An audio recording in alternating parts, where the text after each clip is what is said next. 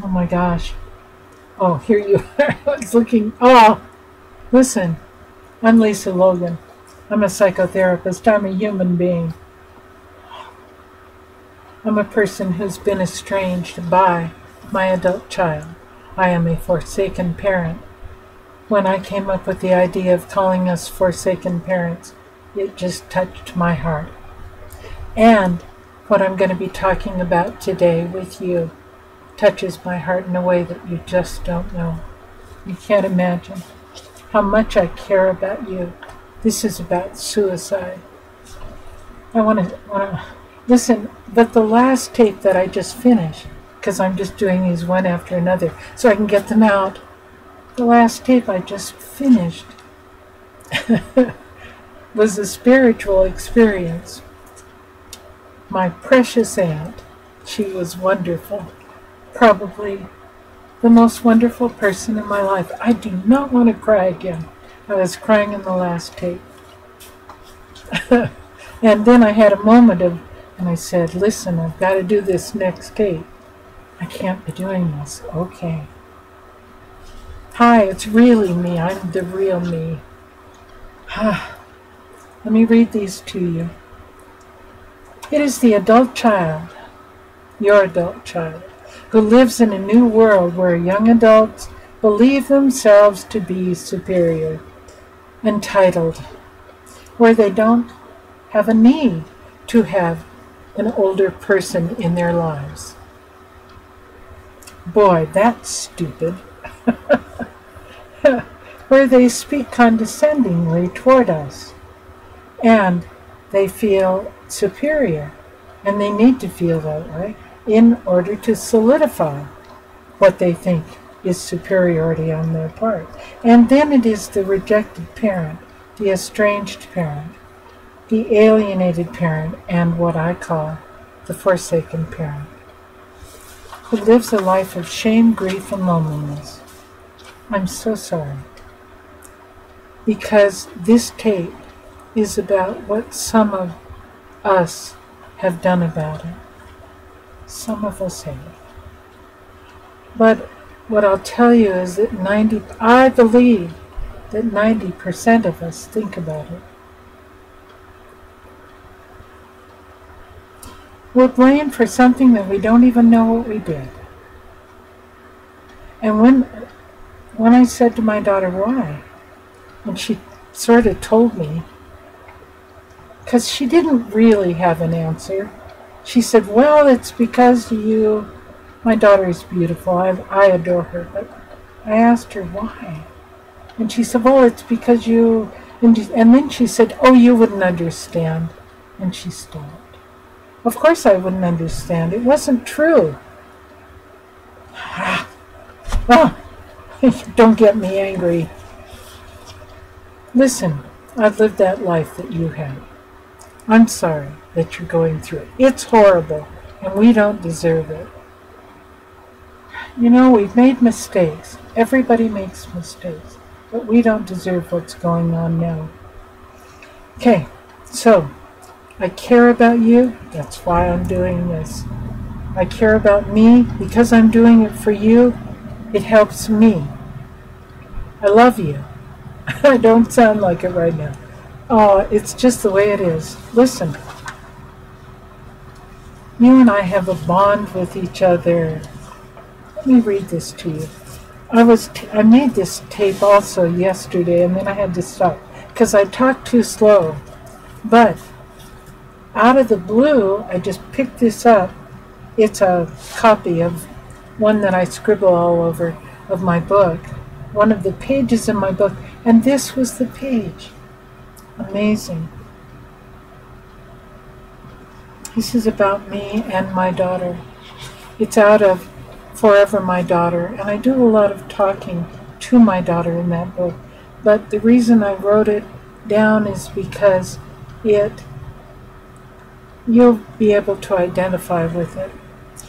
Tell me, how can you be yourself, an adult who loves her children with all her heart when you have been chastised by their mother in front of them.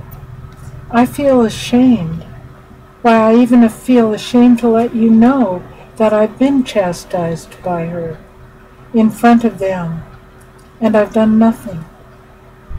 It brings me a measure of comfort to know that others have also been treated as less than as I have, because you understand the less than choice that has to be made.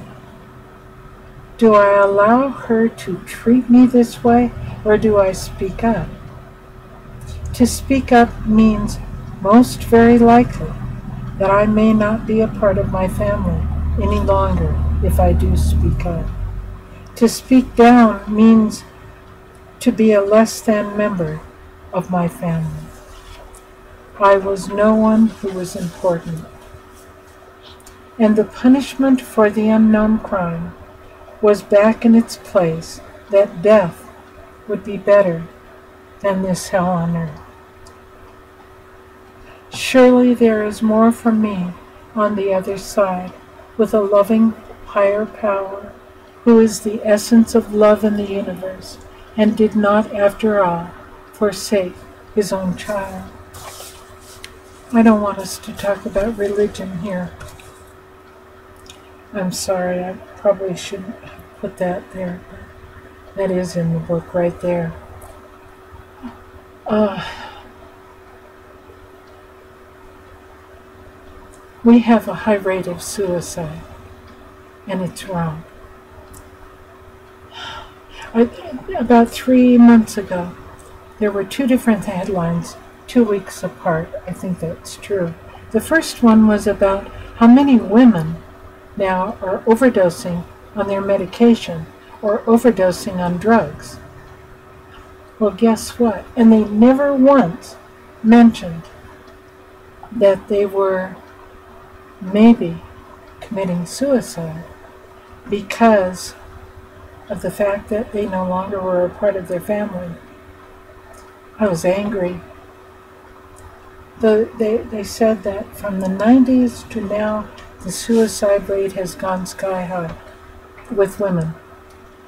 Okay? Well, guess what? It's gone sky high because estranged parents, rejected parents, forsaken parents have gone sky high too. I believe it. You think about it. You know it's true. And you know that a good number of you have thought about committing suicide. We don't do it. The majority of us, of course not. If we did, this would be having so much attention. Please don't do it. There's another way to put a stop to what's going on to us, what's happening to us. It's getting cold in here. I don't want you to commit suicide. Two weeks later, another, uh, another headlines again. This one was out about the boomers committing suicide that they're overdosing on medication. They didn't, I don't know why they didn't tie the two articles together, but they didn't. This was about the baby boomers. Well, that's you. You also. Please don't do it. Please stay with me and fight. Put a stop to what's going on. Please, I need you to help me do this. I can't do it alone. I'm going to do everything I can, but it needs to be lots of us. And there are lots of us who are being treated this way. A ton of us. See, the thing is, we don't really know how many. I do. I don't really. But I know it's big. There are so many of us that are going through. Listen, I can't ride a train without half the people who are my age saying, I'm one of them when they find out that I'm writing a book about this. I can't walk down the aisle in Fred Meyer's and strike up a conversation with someone without that person, when they find out what I'm doing, this, this is back before I began to do this, have you on these videos, talk to you on these videos. Sorry, We're all over the place. You have no idea because we're ashamed to say it out loud. You have no idea how many of us there are. Please tell your friends about this, these videos. Please tell your friends about me. Don't tell your adult children. I don't want to. I don't want to talk to them. I'm I'm happy to have adult children here, but I'm not interested in having them talk because I've listened to them. My God, there was a there was a website where people had written and talked about their heartbreak. No, no, no, no, wrong website. Wait, there was a website where I read this. All these adult children were talking about how horrible their parents were. So this woman writes, she's a parent of these of, a, of an adult child, and she said, "Could you just tell me, please, uh, why this is happening? Why do you feel that way about your parents?" I mean, I could hear her loveliness. She was just asking for help. She got attacked. I'm going to call them assholes by those assholes. oh, don't don't be, don't be, don't, don't write and tell me I shouldn't use those words. Look, when I meet them, I have a lot of compassion for them, but not with you. In order to get this website made, I have talked with a lot of young people that I know very well talk badly about older people. I have very little patience for them. They know something woo woo that I don't know about how to do this. That doesn't make them superior to me. It doesn't, and it doesn't make them superior to you. If they were raised in the decade that we were raised in, they wouldn't know that much about about uh, building websites. But they were raised in the new millennium. Okay, that's all. That's all. It doesn't make them more than we are. It just makes them know something we don't know. But we know, and I'll, I'll buy what we know as being the best any day. We have wisdom and we have love. I'll buy those two things any day. Spiritual wisdom and love. Our grandchildren need that from us. Just wait don't take your own life. Wait. Wait and see the changes that we're going to make. Please. Do I have anything else I want to say? Because this is a very important video to me in my heart. I guess not. I'll probably think of 20,000 things when I'm done. But all I can tell you is that I need you to help me with this. We're going to band together and we're going to be honest. We're going to say, this has got to stop. And we're going to say it's happening to thousands of us. We're going to tell the truth. But in the, before we do that, I'm going to teach you how to speak to your adult child. You'll see. It's gonna change. It's okay. But I have no judgment for any of you. I don't care what's happened. You know, whatever goes on is between you and your higher power. I happen to know that we're here to learn to love. No, I'm not supposed to talk. I apologize. Well, that's just spirituality. That's not religion. We're here to learn to love. Please don't take your own life.